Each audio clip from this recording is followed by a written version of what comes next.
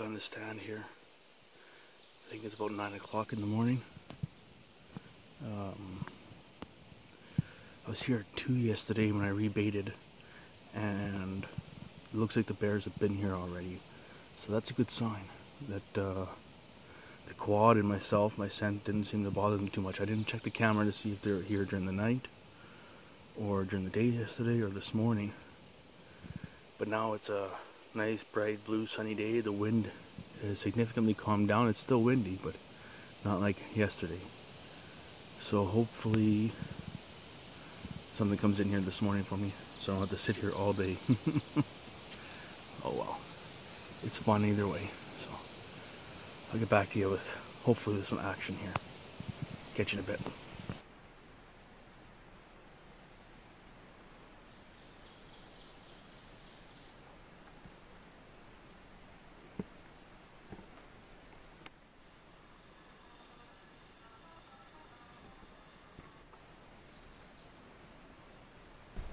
Been here for about an hour and a half and still no signs of bears, but that's alright. Things are looking good, sun's out, having a good time, enjoying the tree stand.